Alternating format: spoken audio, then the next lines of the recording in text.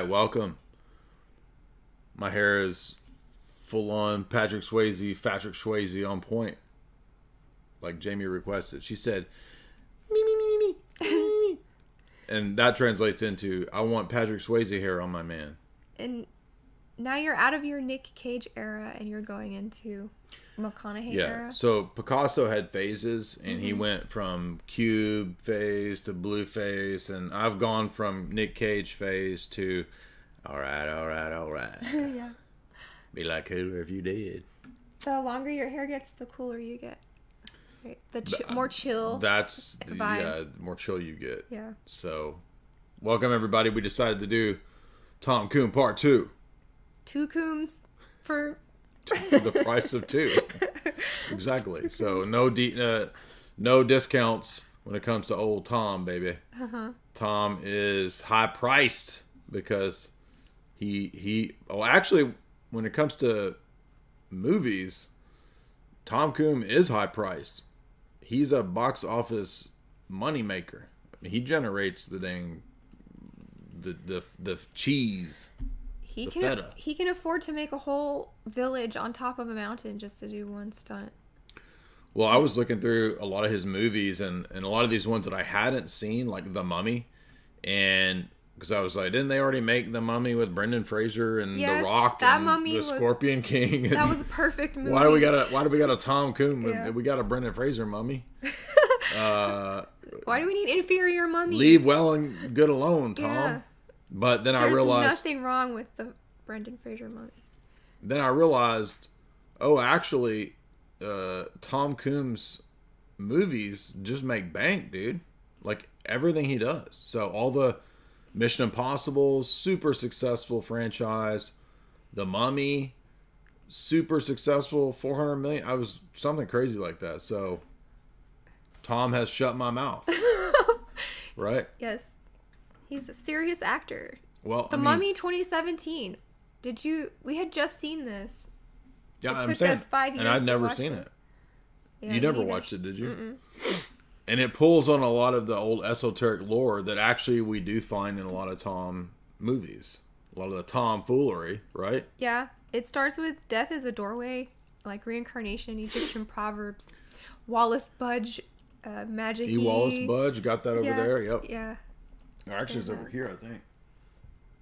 Anyway, Um, because it starts with Templars, 1127 that's right. AD. And, and what are the Templars up to? They're hiding some MacGuffin in their Templar It's a jewel, isn't it? It's a, yeah, it's a, a red it's jewel a red ruby thing. on an Athame, a ritual dagger, yeah, isn't it? yeah.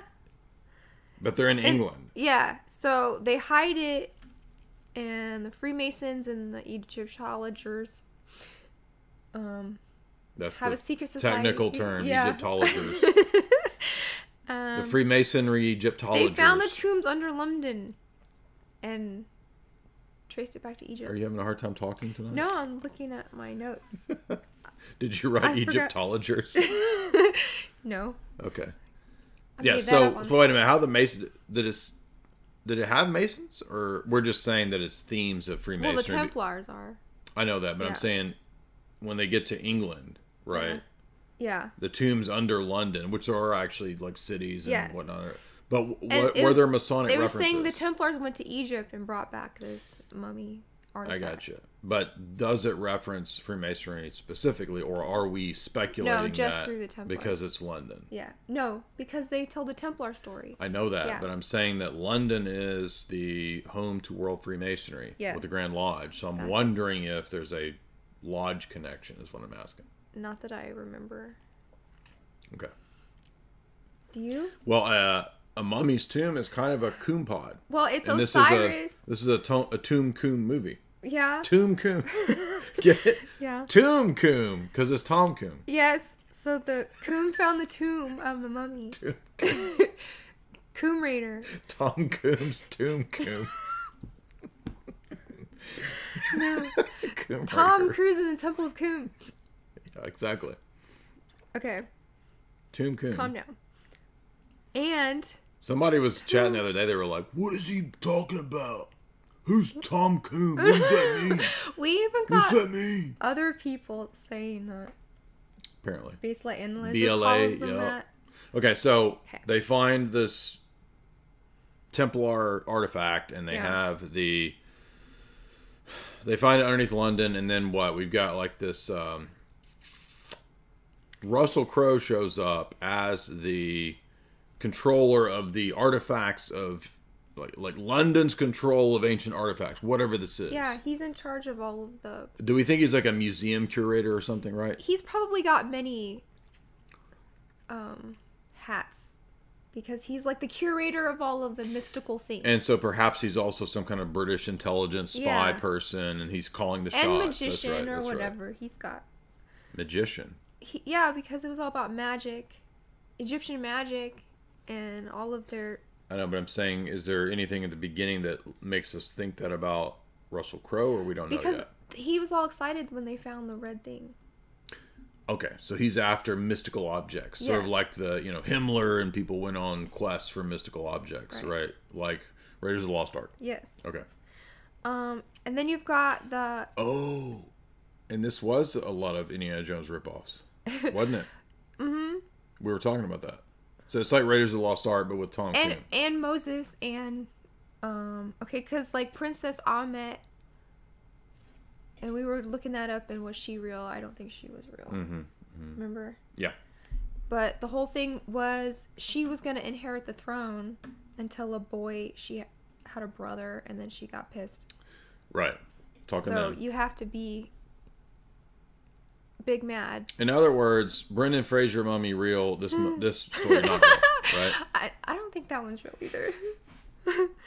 um okay, so she made a pact with Set to become like a book, a living book. Remember she got all the two tattoos? The living word. Yeah.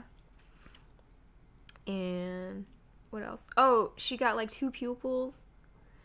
Well, that signified possession, right? Right. So the god or the goddess possessed her, right? Yeah, and Brittany did that in one of her weird videos, and one of the new girls did that in her.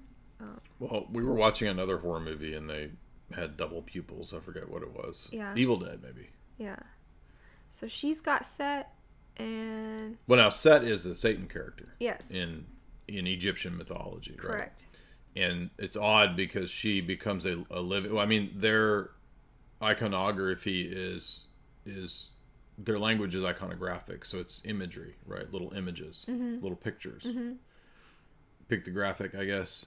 And she becomes a living walking version of a book with all the words written on her. Mm-hmm. And i always think that the, there's an overlap when we see this kind of an imagery from egyptology because egypt did have in their memphite creation narrative the notion of reality being spoken as a word so it overlaps with genesis 1 and the word god spoke and reality came to be so reality is fundamentally information. It's fu- fundamentally a verbal word, and she's this weird dark goddess figure. You know, we've t- we covered with the psyop cinema guys the notion of the dark goddess. She pops up in movies all the time, and but Set's a male character, right? But she's possessed by a male character, mm-hmm. and so she's the dark satanic goddess, And um, hermaphroditic too. If, right? and they're in a place in Mesopotamia called Haram, and isn't that like a a word in Yeah, it's like like I don't know if it's. something? I mean, it, Muslims Bad. use it for forbidden. Um. Okay. Uh, uh, but it may be an Arabic word for that. I'm assuming. I don't know Arabic, but by the way, guys, if you want to support the show, you can via the super chat function. Super chats are through Streamlabs, so you can use the Streamlabs link to uh, send us super chats if you'd like. So we're getting deep into Egyptology and uh, uh, Tomb Coombs' version of Egyptology as he achieves immortality, basically. yeah. We don't want to mention that's a little too much for YouTube, so let's. Oh, Well, we can mention talking codes. we can mention this stuff, but let's stay away from like that. Okay. Too deep. um. So Tom Cruise is the liberator of precious antiquities, and so they're like soldiers, but they also are tomb raiders. Right. Well, yeah, he's it's like, the two Michael Caine and and uh, Sean Connery characters in Man Who Would Be King, Yeah. and so they're they're basically grave robbers. Mm-hmm. they're grave robbing adventurer soldiers who use their soldier missions as cover for grave robbing. Yes. So he's kind of um already uh He's the Han Solo, Indiana Jones, scallywag. anti-hero, Yeah. right? that has to prove himself and like overcome his dark side. Right? Talk at the internet, people. Talk at the internet They won't hear people. me if I don't talk in Talk at the internet, Okay. people. Um, what else? Oh, so they have to call in an airstrike to save themselves, right? Well, they're being hunted by some kind of Taliban or something. I don't remember exactly what it is, but the airstrike is actually what blows a hole in the ground where they find the tomb, right? Yeah. So they blow a hole in the, the airstrike strikes this little town, Right. and then they find the tomb of the mummy, the scary one. All right, so is this different than what they found in the, the Yeah. Below so they London? found okay. Do you remember in Indiana Jones three where they found that Templar tomb under the library in Venice? yes, It was like that. it was just like that. In fact, again, I said, and there was rats. Yeah. So it was literally, this is like Tom Cruise as Indiana Jones, right? Yeah. Yeah. Um. But now, But in the desert, they find this like tomb that's raining mercury. Yes, Remember that part? and Mercury is the messenger god. yeah. So Mercury's what was it? Right. So and Thoth, by the way, is the according to Plato, it's the mysteries of Platonism are the mysteries of Thoth. Yes. Remember? Yeah. And that's why Neoplatonism, I think, ultimately goes back to Egyptology and Egyptian philosophy. So, in other words, Platonism is usually what a lot of these esoteric systems are um, mimicking or bar- borrowing. Hermes Hermetic is Hermes Trismegistus. Who That's was Thoth, right? Yeah, Yeah. exactly. So all the So, in other words, Tom has in this movie all of this esoteric stuff, but that shouldn't be surprising given that, right? Obviously, everybody knows Tom Cruise is a Scientologist. Scientology comes out of Crowleyism because uh, Hubbard studied all the way up through the levels of Crowley right before he started Scientology. yeah. And that's all public record. So, um, my guess would be that the esoteric presuppositions of this goofy movie are, you know, loosely sort of Crowleyan stuff. That's why we have reincarnation, Egyptology, Templars, uh, Mercury, Thoth, all being referenced in the movie. Now, why do you think that was that supposed to be Thoth's tomb? I don't understand why there's No. Mercury in there. Just as a way to keep her in it and like a toxic thing. Oh, that's that right, because her- it was like, uh, yeah, it, it and would like keep people away or something, Well, or keep. in the end when they catch her, they're putting mercury in her veins. Remember? Oh, so this is kryptonite to her. Yeah. So like knowledge defeats darkness, man. Knowledge defeats darkness. Yes. Exactly. What are you laughing at? That's what it means. I'm smart. Um. Okay. Because I was trying to figure out, well, wouldn't they be on the same side No. as Egyptian demons or whatever? Right. No, they fight each other for power too. Right. Okay, so Set's darkness is overcome by the gnosis of Thoth. Right. Okay, I buy that. Okay. So when they get down in the pit, like she's like, "Don't touch anything. Don't you know? Be careful." And, and he's so cavalier. He like unleashes it, and they give her like an hour, and then he's having visions of her. Remember, like his dream girlfriend now Yes. is the girl. He's Tom. Is Tom Cruise a reincarnation of something from? wh- Why he's is he going to be. But and she chose him or something. Remember? chooses him? he chose him. She chose him. Chose him. I know. But what I'm saying is, why is Tom Cruise having visions of an ancient Egyptian chick? Cause he unleashed the thing. Oh, and she's she's showing him who she is. Yeah. I see. That makes sense. And then people start getting possessed. And they have a plane crash. The birds crash the plane just like Indiana Jones. Well, she when she's present, birds come, right? Like Yeah. Hitchcock movie or something. Right. Yeah. And the crows are being bad boys and working for the mummy. Right, and they plane crashes in a church, which is weird. It it literally crushes a church, yeah. and then they have a battle uh, where they're gonna sacrifice Tom Cruise or on an altar in the church, isn't it? Yeah. So it's like they're they're bust this this church is in ruins. It's in the middle of the night in England, and it's all dark. It's just weird like they are doing a a, a night. It's a well, it's a ritual to Set, isn't it? They're gonna sacrifice Tom Cruise to Set, Yeah. right? Well, they're gonna like imbibe him into the body or something. Well, they had a dagger. They were gonna kill him. Yeah, but like sacrifice and bring Set back to Earth. Okay. Okay. But before that, she has to rebuild herself and she like sucks her life force out. And then Russell Crowe shows up. He's like the Royal Society, but like That's right. He's like a Royal Society antiquities collector man. Yeah. And then this is where it gets really stupid. This movie was okay up until Kinda. suddenly Russell Crowe is Dr. Jekyll and Mr. Hyde. Mm-hmm. What? they bring in other monsters for um monster clout, but because Mummy is a classic monster, so you gotta bring But no Wolfman, no Yeah. Dracula. like we didn't get the the crew together, right? yeah. Prodigan, Prodigum, I thought it was called. I couldn't What was? pro Prodigum. What's called? his the cure for evil. Russell so they're trying to cook up this thing, and he has to stab himself with the juice, the good juice, so he doesn't freak out. He has to have his blood sugar. Oh, you mean uh, Russell Crowe? Yeah. So basically, you're saying Jekyll and Hyde is the uh, allegory for Beatus. yes. so he has to have his magic insulin, His so magic he doesn't insulin. have tantrum. Yeah. This was just really stupid. And so basically, Russell Crowe wants to control evil with science. Yes. He's a science man who's Dr. Jekyll He's and Mr. studying Hyde. the science of evil and how to contain it. and how to contain evil with science. yeah. Which is interesting because I thought Thoth is also Gnosis, and that's how we beat Set.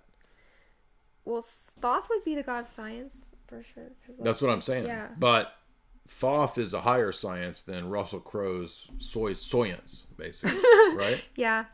Okay. Okay, so she wants to make Tom Cruise Set reincarnated, Right.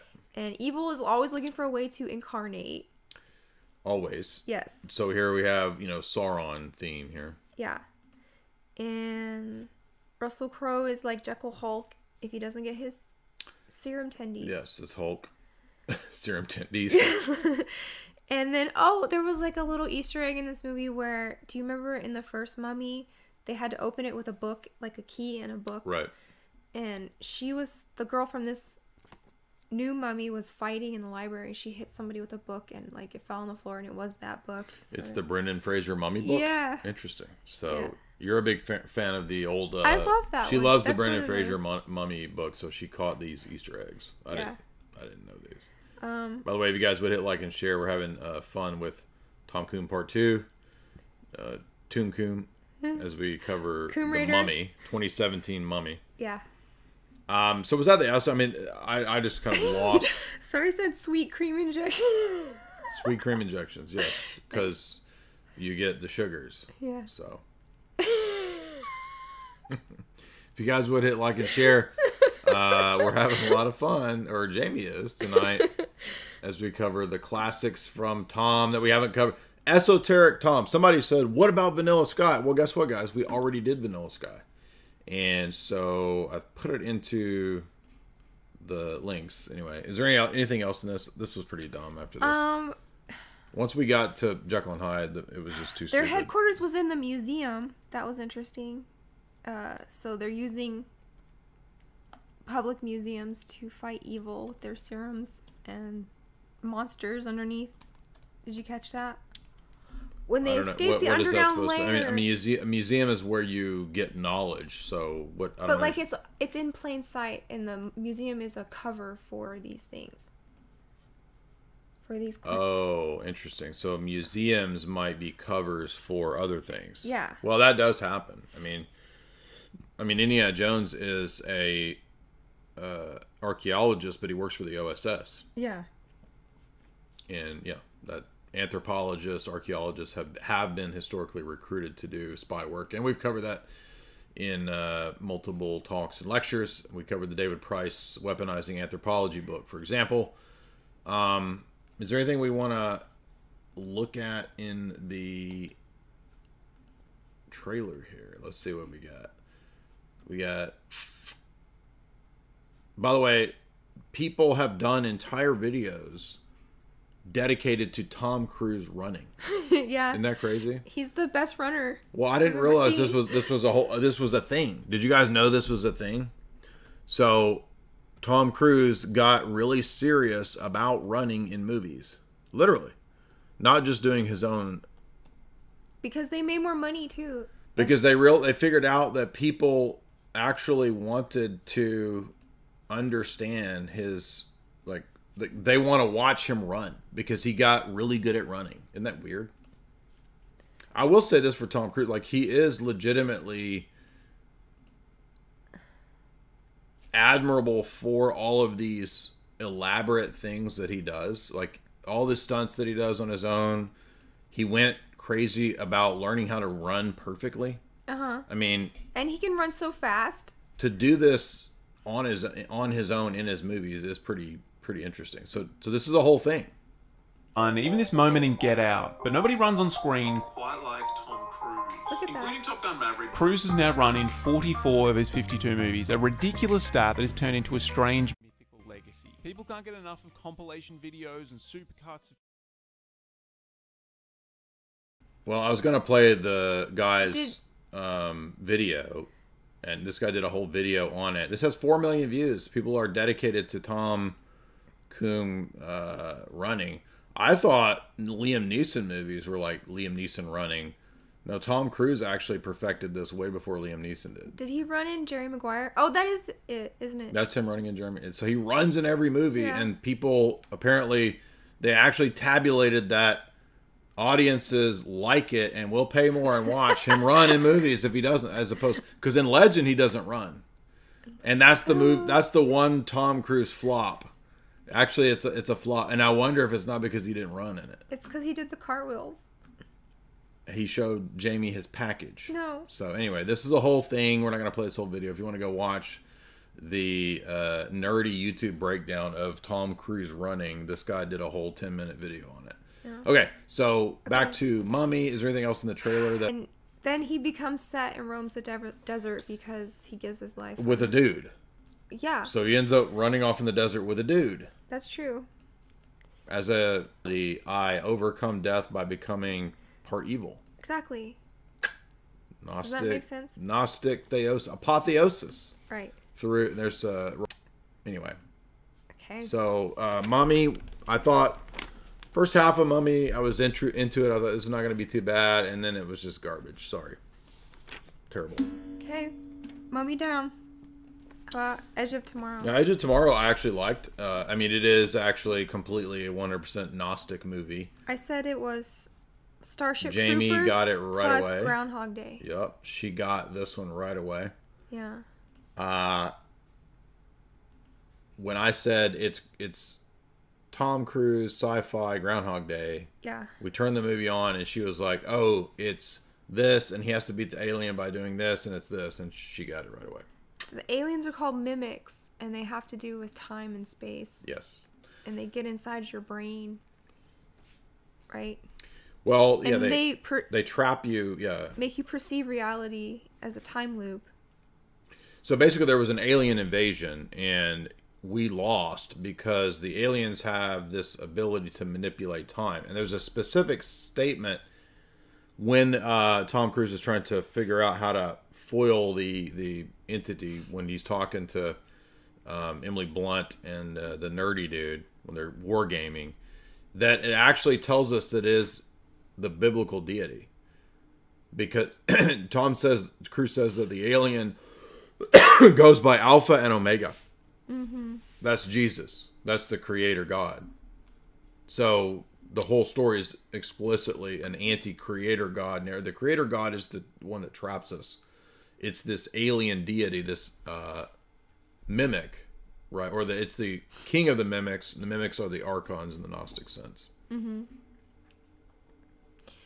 I think it's interesting. He he starts out as just a um, spokesperson and not even a real soldier. So he's kind of like pretend.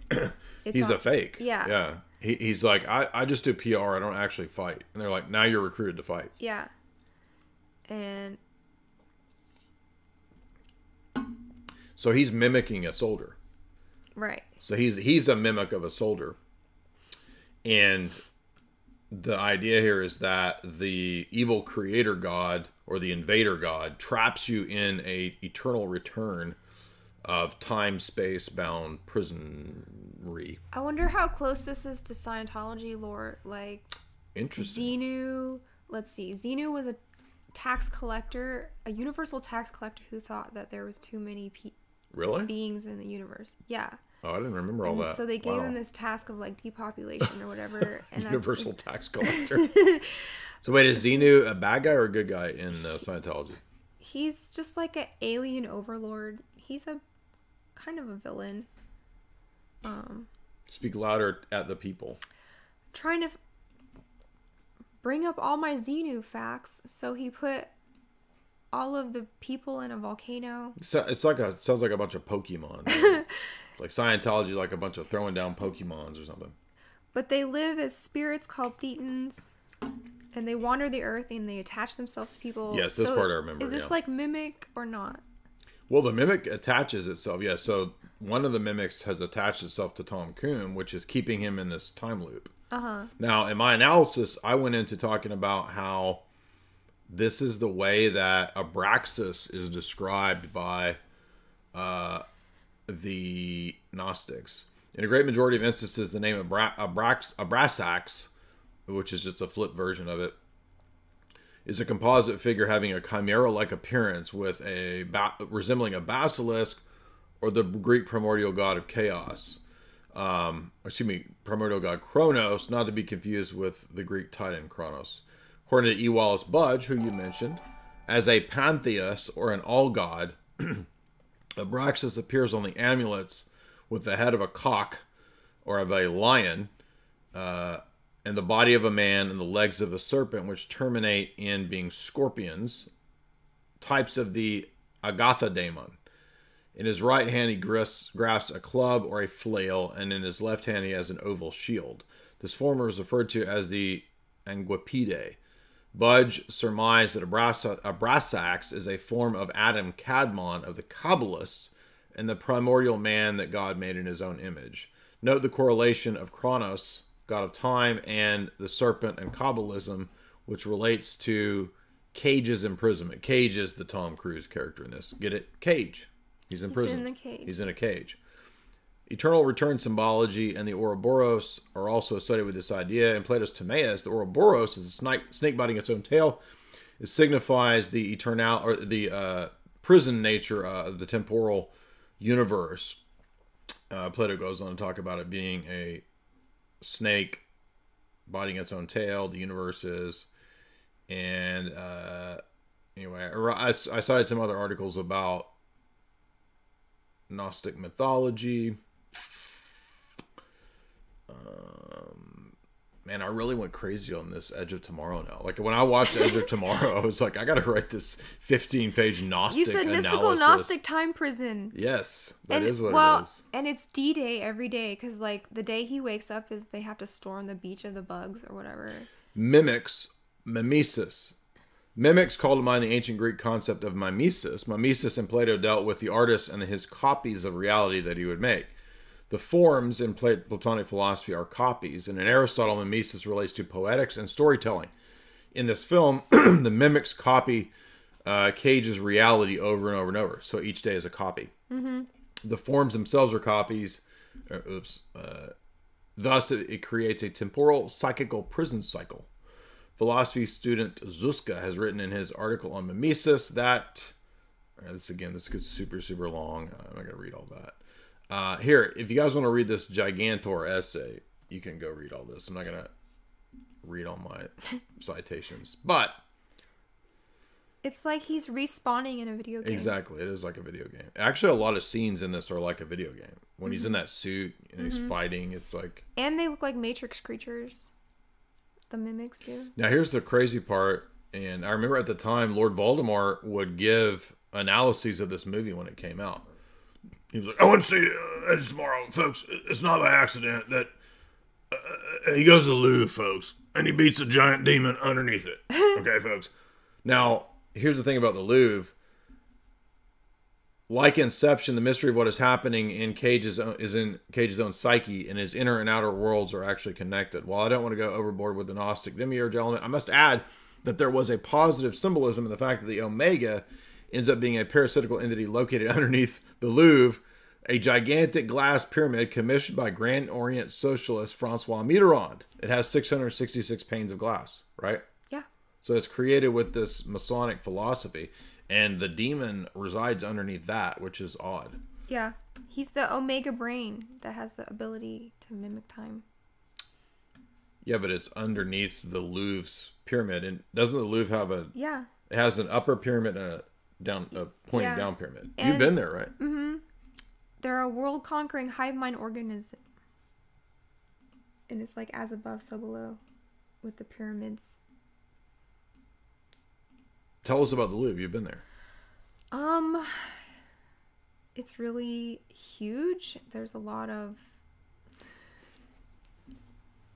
way cooler things than Mona Lisa in my opinion. Um Talk at I like people. sculptures a lot. like marble sculptures. Um Well, it seems to me that that all sounds aesthetically pleasing, but giant glass pane pyramid sounds it doesn't ugly. fit the rest of Yeah. the um motif. So it's it's ugly Masonic art, right? yeah. Remember Dan Brown did the whole thing about it. Yeah. That's when people started But paying attention. Is it ugly? I've never seen it. Um,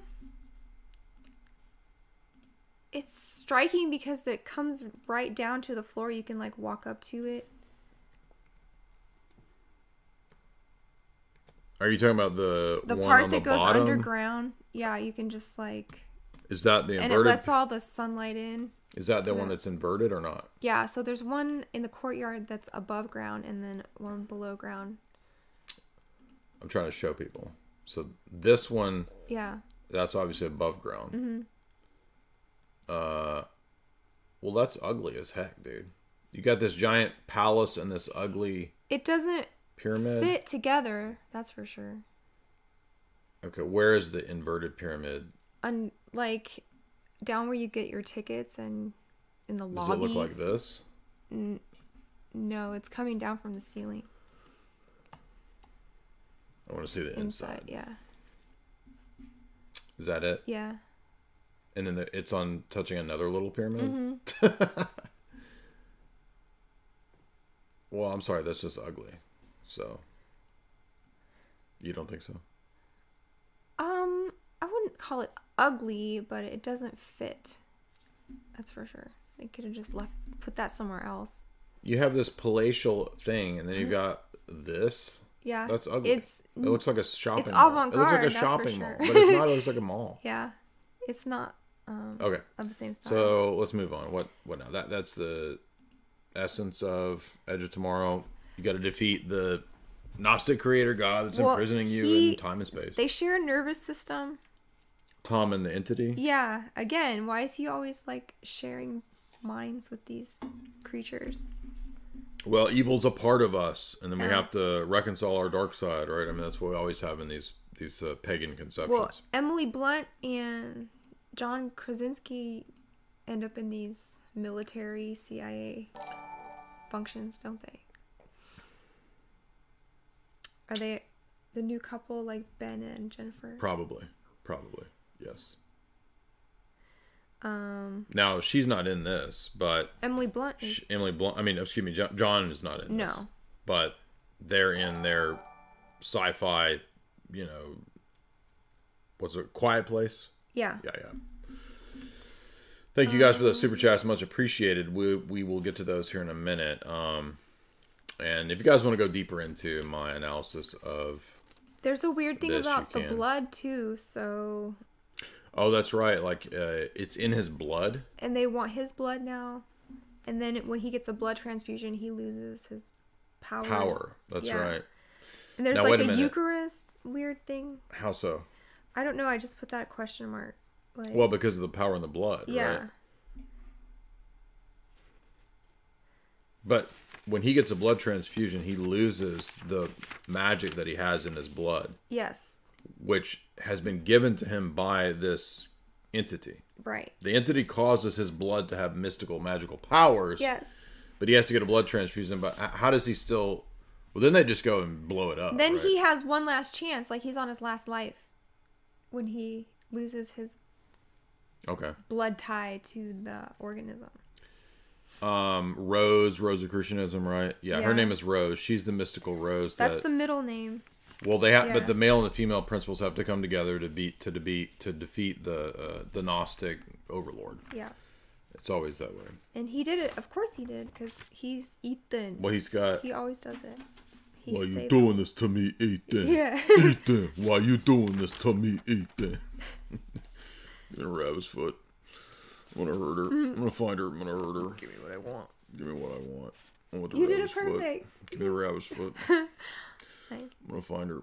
I'm gonna hurt her. Is that good? Yeah. All right. Next up is Oblivion. Uh, I actually like this one okay, but Jamie figured this one out pretty quick. Didn't you? Well, you guessed the cloning and you, you, know guessed about the Gnostic stuff, then you've pretty much seen every movie. they do they do be repeating their things, ain't they? Yes. But you guessed everything from the cloning to the the tet, Yeah. right? Yeah. Tetragrammaton.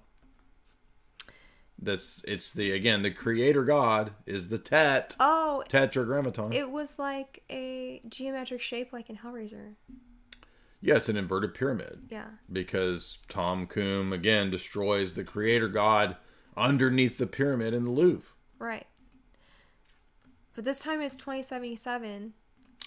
Right, and Earth has been attacked by this thing, which we, we think it's aliens, and And there are many clones, but You're we getting don't know way them. ahead of us. Okay, sorry. Well, okay, the official story is scavengers broke the moon right, and they had to nuke them and Earth is toast.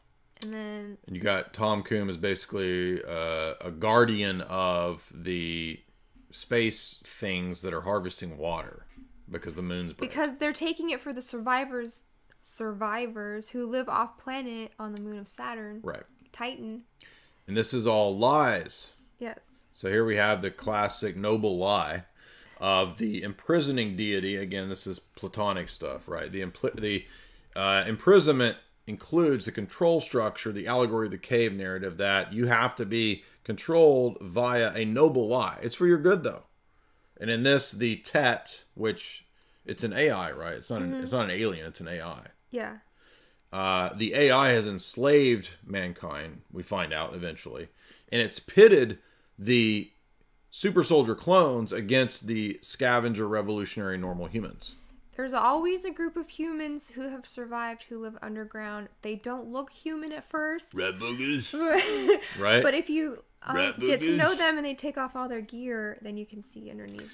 Every time Jimmy wants to refer to this element in sci-fi movies, she cites rat burgers, you said these are red burgers. and she does her terrible Sly Stallone impression from Demolition Man, because Denis Leary leads the human opposition underground in Demolition Man that Yeah. literally lives underground, and they eat rat burgers. I just saw an article of how they found rat burger rats and people in the burgers. Mark my I'm sure you did. Okay, because everything else from Demolition Man is coming true, so why not that as well, exactly. right? I mean, if you go watch Demolition Man, which we've done, it was, it was a lot of fun. It's it's amazingly predictive because so many of the dystopian stories, like the dystopian stories, left out the social justice stuff, and that's a key element in Demolition Man. Yeah. you get fined when you say mean words. Yeah, and everybody's childlike Yes, and can't take any. yes. So go watch it. Actually, we've covered Demolition Man twice. I did it with Tristan, and then Jamie and I covered it. So we, we've had a lot of fun with Demolition Man. It's a must see. But anyway, let's get back to Oblivion. So Okay. we are uh, being lied to by the entities that have im- imprisoned us, Scavengers keep attacking Tom. and the scavengers are of course run by Morgan Freeman, Morpheus. No, not Morpheus. Morgan Freeman. Morpheus Freeman. Yeah, no. Um, They look like Jawas or Sand People. they do. So elements of I mean, there's kind of a Star Warsy element to this. This has some Star But Wars. But he keeps having flashbacks of his real girlfriend in the in the old world, and it, it's almost kind of like um, Planet of the Apes. It is. And it does have Planet of the Apes elements. Yeah, you got the you know ruined structures from the old world, and he has a baseball cap, and he wishes he could go to the New York Yankees games, and he's remembering these flashbacks to his relationship with Olga Kurylenko, and that's because he's a clone, Tom Clone. There's so many combs in their little pods. Remember This were literally has coom pods. they were honeycombs of There's a honeycomb of Tom. Um, wh- that's when we get to the alien vessel, right? Yeah. The alien vessel is a giant Tom clone factory. Yeah. But he they need the girl to keep him in line. Yeah, so Tom is given a girlfriend, this redheaded chick, who keeps him in line and reinforces the lie, Yeah. right? Because she's like, Are we an effective team? And they have to say that. Over, yeah, it's like he has to over again. repeat this stuff, and um, she is sent uh, by the AI to control him. She's kind of his handler, you could say, Mm-hmm. and they have to check in every day with the AI and all this stuff. Anyway, well, come to find out, Tom begins to question his existence and think, hey, maybe I've been lied to. Maybe this is all a bogus narrative. And things continue to happen that mount up that let him know that he's in fact correct. There's a crashed ship eventually of Olga Karolinko, who she is she cloned as well? No. She came from a escape pod that crashed. Right. But why did her why was she in an escape pod? I don't remember this part. I don't either. Anyway, so Tom happens upon uh, the real girlfriend that his original Tom clone used to be in love with. Mm-hmm. That's it. So he's mystified when he sees her because he's like, I've been having these genetic memories of this gal, and it's not the redheaded girl that I date from Space Force, right? Yeah. So uh, now he's questioning his whole existence, and then he starts to think, hey, maybe these human scavengers aren't bad guys. I actually think this is, I mean, it's kind of has a lot of other sci-fi movies in it. But Yeah. actually, I like Oblivion. I think it's a pretty good movie. Well, he's the one clone that seeks the gnosis. So all the other clones. he's the Neo. Yes. Remember, because Neo's like ten. There's been ten other Neos. Right. Right, and he's the one. Whoa. I'm the one. He did it. You're saying I'm the one. Where do I get a gun? Remember when we were John Yeah. John Wick Four? He has like three lines, and one of them is like, I'm gonna need a gun. "I'm gonna need a gun," Yeah. and he probably had that in the contract. Like, I'm only saying three lines. They're like, "Okay, Keanu, whatever you want, as long as you do John Wick Four, because it's going to be five hundred million dollars." yep. Do Tom Cooms dream of electric sheep? Somebody said. He needs Keanu clones to do his stuff. So where are we at? The Tetragrammaton, it has a robot droid eye. So this is where it gets like Independence Day. They have And to go AI. up yours and like Yeah, they do plant the Randy bomb. Quaid up your butt Yes. of the tet, and again, what? they did. Yeah. Well, the Tet, remember, guys, it represents Tetragrammaton, representing the creator god, the, the biblical God. Mm-hmm. And so I, I, I'm not surprised, but I am surprised how Gnostic all of these are. Literally every Tom Cruise movie is just rife with Gnosticism and, and sort of, uh, I don't know what you would call it. It's not even really Freemasonic, though. It's more like like a Crowleyan style esotericism. It's um that thing you didn't want me to say, maybe. Yeah, Crowleyan style. Yeah. yeah. It, it it's more like that. Um, it's just straight up Gnostic, like Luciferian Gnostic philosophy. Mm-hmm. Uh, and I, I didn't realize that there was this pattern in the Tom Coom films, but but they're there. So he kills the god, the creator, and he says F Well, you, but he Sally. but he, he does it through doesn't he sacrifice himself? one of the clones. Right, but there's a million Tom Cooms. Yeah. Tom clones. But, what? Honey honeycomb. Um and I mean, it's literally in a honeycomb. Like the whole spaceship is a giant Tom clone factory of honeycombs. Yes. They're infinite Cooms, shadow self and mirror self. You wrote down.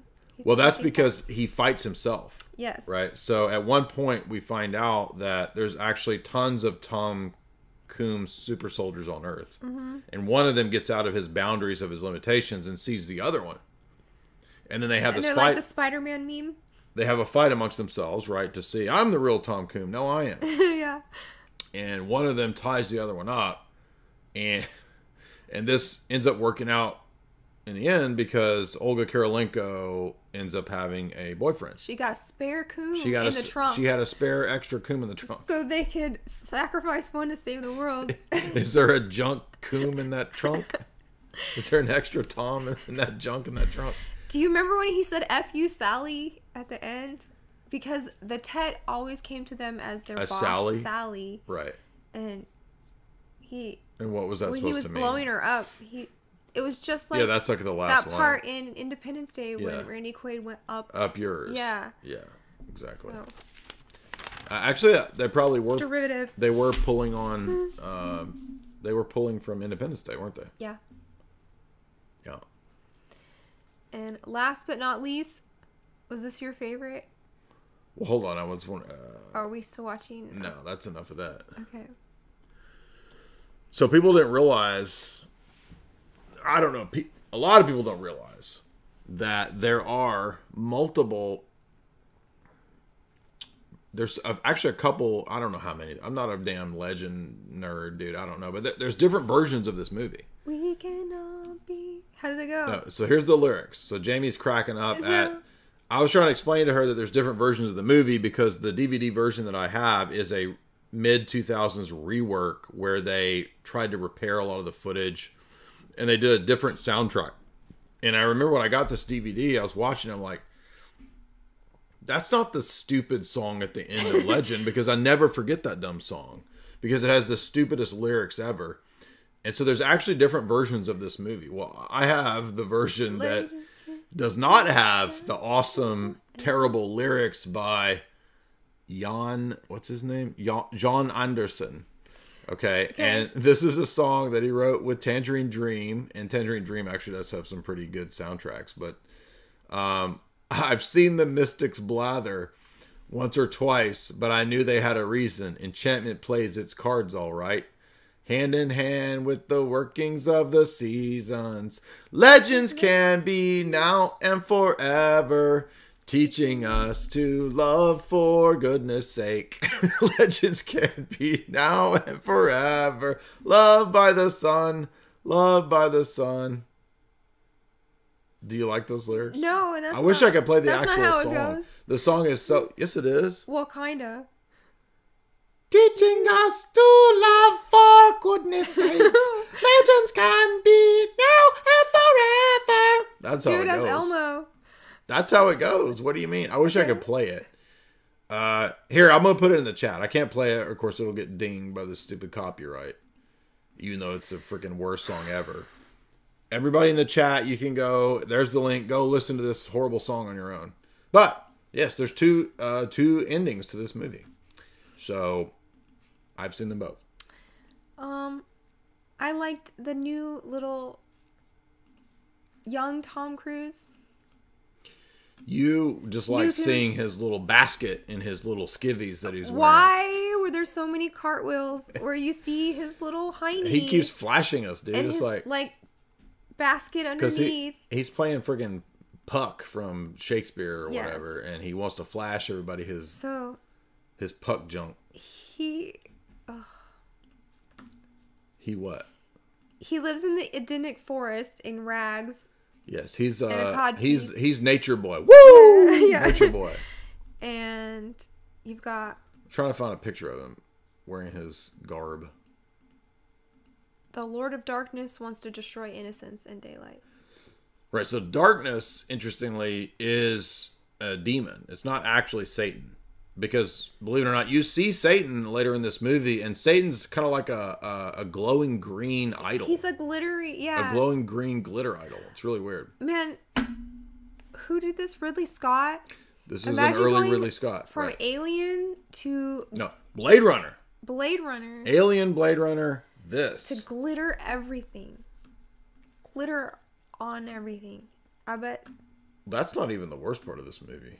I mean,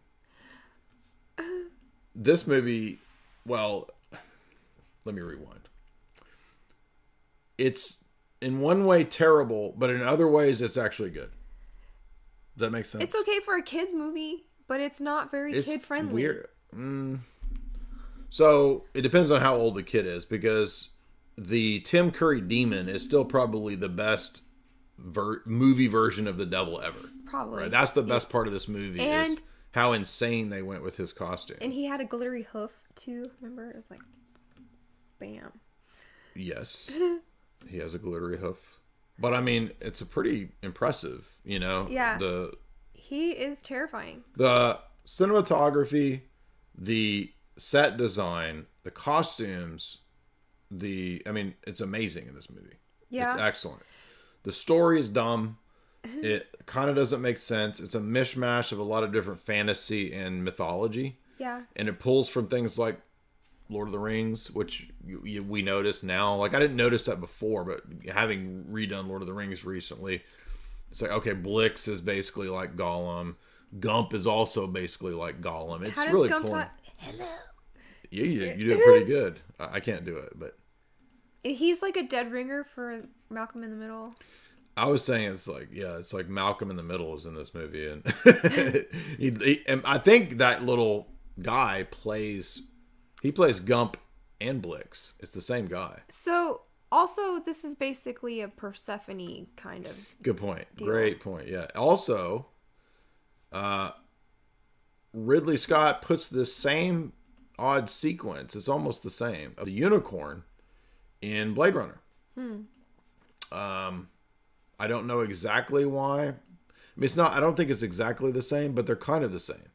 So I don't know if Ridley Scott was just huffing his own toots, thought that this was cool, or is there a deeper significance to the basically the same sequence? Do you remember talking about when Deckard and Mary Sean Young they have the same dreams? Mm-hmm. It's because that's how that's one of the reasons that we know Deckard is a, a replicant Oh, yeah. because he has the same dream of the unicorn. Doesn't he leave a little paper thing? Is it a horse? Well, Ja Edward James Olmos does, and that lets Deckard know that Edward James Olmos knows that he's a replicant. I see. You see, but um, I'm trying to figure out like so. I read you know like in Carl Jung, he talks about the unicorn and various unicorn symbolisms, and it comes up in this book, and I've cited it before, but. Anybody in the in the chat, what are your theories on? And if you're in, if you're watching this later, like did he do this on purpose? Somebody said no he's just using used footage. Could be. Um let's see if it let's see if it is the same.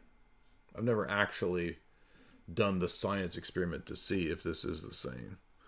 So let's see deckard's dream. Let's see if it's the same sequence it's vangelis not tangerine dream so that's one differentia.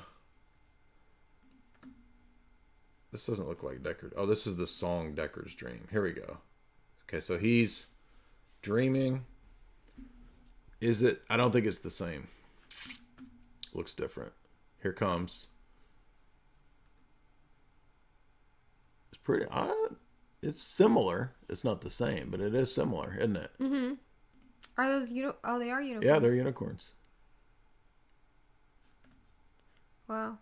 So So really, Scott's got a thing for between unicorns. yeah between the two there is a definite definite significance there but um it just depends kind of on what mythology really scott might be pulling from which in this movie he's pulling from every bit of mythology i mean is lily lilith That's what I wrote down. i mean mia sara well, mia sara is playing her dark alter. Yes, uh, Mia Sara has a shade self that appears, and she does that really haunting uh, dark dance when darkness is tempting her, mm-hmm. and she's almost going to become, you know, the dark so goddess. she's the princess of nature. And well, she's just the archetypal princess. Yeah. Jack represents. She's Lily. She's a virgin, and Jack represents the uh, Pan. wild pan forest character. Exactly. yeah. And Gump is also like Pan in a way. He he looks he he is a Pan character, absolutely. so But I He- actually he's I a very Peter Pan also. yes, this pulls from that exactly. Well, Pa- Peter Pan comes from Pan. Yeah. But I noted that there is a um, how would we say it? An S E X U A L allegory to this movie. The the movie of touching the unicorns thing, which leads to her uh, downfall. She's doing the Forbidden Eve thing. It is yes, Because because she has to touch him and touch his horn and that's uh, yeah, it's all allegorical. she comes back and she says it was magic. and this if you read about Carl Jung talking about the unicorn, he says it's all allegories for this stuff. Yeah. And that's what this movie is pulling from. And then the goblin comes and cuts it off. Which so the cutting off of that Egyptol- Egyptology Osiris. She caused the fall. she because- causes the fall, but he gets emasculated because he loses his thing. That's true. That's Osiris. Oh, good point. Yes. Nice. We're pulling out all of the um Well, I went deep into this in my uh, in my first book. So in my first book, there's a really lengthy essay on this movie, and I even went into like Evola and all kinds of crazy stuff. But when she uh, when she does this dark dance, darkness tempts her with materiality, right? With all of this uh, bedazzled stuff, glitter. the bedazzler. Yeah. Right? She's like, I'll give you a bedazzler. right? She's like, yes. it's, he'll give her all the glitter in the world. Don't you want a bedazzler? Do it more. no, it's creepy, right? That's my Tim Curry devil impression. You sound like the devil from South Park too. Do it. Nah, that's all you get for tonight. Uh, anyway, so that what was the essence of this whole? Where are we at? What, what what's going on here? Well, I want to talk about the Sea Witch, Old Greg deleted scene. if you don't have I forgot that, about old Greg. That was cracking me up. if you don't have the DVD, they cut out this whole thing where he's in the swamp and he has to fight this swamp witch who's all green and looks like old Greg from Mighty Boosh. Yeah, if you ever seen the uh, Mighty Boosh skit, Old Greg, it's pretty funny. Um, but this sequence here it is. I actually like this sequence. It's it's, it's a well done. Needs to uh, dark Lily. By the way, that Lily, if you didn't know, it, Mia Sara is Ferris Bueller's girlfriend. Uh, the mirror, right? The shade self, Mm-hmm. And that's mirror. where the devil comes out of too. Or Exa- yeah, darkness. darkness comes out. Well, he is a devil. Yeah. He comes through the portal of the mirror. And so he possesses her, right, at this point. And so this is kind of like a, a mind control alter, right, personality where her alter self, which is this demonic possessed version of her, right, is triggered when he emerges from the mirror. I don't know if this version, uh, this version cut out, but he steps through the mirror. It's a really neat sequence, actually. And he's like the fallen angels who want the human women. yes, he wants a bride, and she's the lily white bride, right? Yeah. And he's like, Father, Father, Father. I can't do it. Father, give me a bride, Yeah. right? yeah. I want, I want the sequence And of then- him. He, he's the best part of this movie. I can't find a good image of him. He has to woo her with shiny go. things and a mirror to worship herself. The European cut. That's why Ooh. there's see there's different versions of this. Told you. Reaching out for love, for goodness sake. How does it Teaching teaching us to to love love. for goodness sake. Like fifth graders writing We these can lyrics. all be friends now. Sing along. Lily's Dark Dance. All this garbage, low quality. I just want to see him. You got your dark glitter over there. That's some dark arts, boy. Yes. That's some dark glitter arts, boy. And he says The devil just a stripper. The devil just a damn stripper with He- all that glitter. he says we're all animals. We are all animals, all of us. Yeah. We are all of us animals. Yep. We are all of us animals. Meanwhile, Is that uh the end? How do No, we get no because we have- light? lu- illumination. They're what bringing light to darkness. It's Masonic. darkness is destroyed by the power of illumination. So uh, again, illuminate, confirm. Yes. They refract the light right from outside before dawn disappears. It's always darkest before the dawn, and then uh, light destroys darkness, and now we get back to the normal fairy seasons, And right? yes, which Where Tom is- can frolic in his in his uh, whitey or in his brownie tidies and show everybody his package. and he's just out there man spreading with his naked little legs and doing cartwheels everywhere. This is the one time. Like- I'll, this is the one time I'll support the feminists in their opposition to to manspreading. How many battles did he win by doing little cartwheels and we see his little hiney? Jamie was the- really offended by all the Tom, It was no, it was the tomfoolery. We'll call much. it. We'll call it Too tomfoolery. much leg, too much coom leg. Well, um, it was all of it. But when he they were killing him with the light, when they were killing the Prince of Darkness with Right. the light, he has that whole like, Speech. what is light without dark, and we're eternal brothers, and you He's can't. like, you this." can't have dark without light, light Yeah. and dark. We are eternal brothers. I am part of you. I am in you. One hundred percent, totally Luciferian Gnostic system. Yeah, Once again, Tom Coom is always going to be in these super duper Gnostic movies. Um. Anyway, that was that was fun. I mean, it was. I grew up watching Legend, so I never knew until going back and writing, you know, the big essay I did on it that this is a extremely Gnostic film. Uh, and then even the lyrics, if you the brother son whatever it is lyrics, th- those are pretty esoteric Gnostic stuff too. Like I don't know if I can find it. The the Jan Jon Anderson lyrics. legends can be now and forever. I mean, they're dumb lyrics. I'm trying to figure out what he's talking about. Only lightning strikes all that's evil. To believe in the good in man. To believe in the good in man. Legends can be now and forever, teaching us to reach for goodness' sake. Loved by the sun, loved by the sun. Who sings of love's eternity? Who shines so bright? All those songs of love's unending spells. Lightning strikes all that's evil. Uh, so maybe it's actually not Gnostic, it's just shitty. I Um, was confused. What's worse, that song or the little song she sings to him? When Uh, how's that go? I've forgotten. something about sparrows. Come down, sparrow. Oh, yeah. Yeah, something like that. Yeah. I can't remember how it goes though. You would die in that place with all those spores in the air. That's true. If It you is- have allergies, you can't be in the enchanted forest like yes, this enchanted forest is. Uh, you're gonna bring some your bring your Allegra if you come to this enchanted forest, right? You're gonna Yeah. need some of that magic of Allegra. Um, guys, if you would hit like and share. Uh, let's do super chats. Thank you for those guys right here. Storm the cat.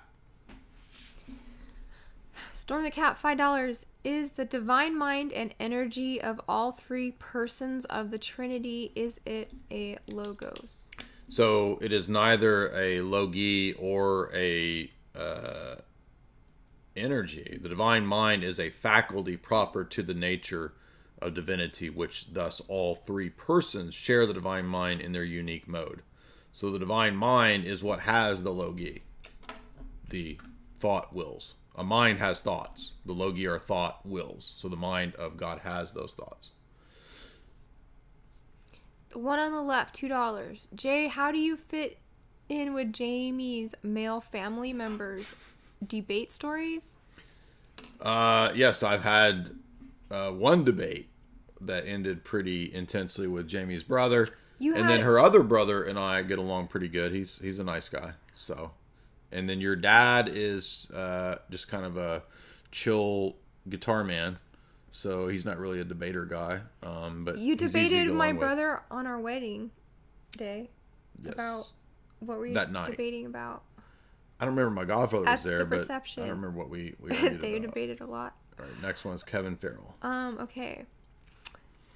Kevin Farrell, ten dollars. Great show as always. FYI, you are being shadow banned big time. Get more content over to Twitter and Rumble. Thank you, Kevin. Yeah, I, w- I would imagine show. Uh, imagine show. I would imagine so. I think that's probably the case. Um, I am on Twitter, uh, so we've been getting, as we as I said today, two, three, four times the views on Twitter that I get on YouTube. So um, yeah, look for everything being on Twitter. Uh, and that being kind of a shift probably. Uh, but I'm also on Rokfin. Remember, everything's on Rokfin, and uh, we are on Rumble. So pretty much every live stream we do here also goes up on Rumble. So I am there. I'm Next working up. on putting mine on Twitter, like one a day maybe. And Jamie's doing hers as well. Michael. Um, Michael, five dollars. When Vanilla Sky? guys again um three people asked today uh when are you doing we, we've done it. Uh I- in the chat today with you guys three times. It's right here. I'm not being mean. We did it right there. So people were saying well you're doing uh, esoteric tom cruise movies but you're not doing vanilla sky? Because we did it right there But then it's in the chat we did Legend. Come on, man. Yeah, actually, I haven't done a podcast on Legend, uh, which is odd because it's a chapter in the first Esoteric Hollywood book. And I go into much more depth if you want uh, a deeper, serious analysis on, on the live streams. We don't get super, super serious, but And in Vanilla Sky, we talked about the life with cats. What was it? you did I'm your you did your life. Penelope Cruz impression. When we are both cats. You do a good Penelope Cruz. Yeah, All right. okay. Next up is Adam nineteen twelve. Adam, 1912, $40. Tom Cruise wearing Fruit of the Loom in his Temple of Doom with Jeff Goldblum. nice. Just wanted to send some bucks. Appreciate y'all. I like that. Tom Coom wearing Fruit of the Loom in his Temple of Doom with Jeff Goldblum. Uh, uh, the, the, the, the, the, the mathematical probabilities of Tom Coom wearing the, the, the, the, the brown whitey tidies is uh, absolutely uh, infinite. There we go. Zach. Okay, Zach, $10. Jay and Jamie equals the best. Thank you. Thank you so much. Appreciate that. Um, and by the way, Adam, great, uh, great comment there. Love that one.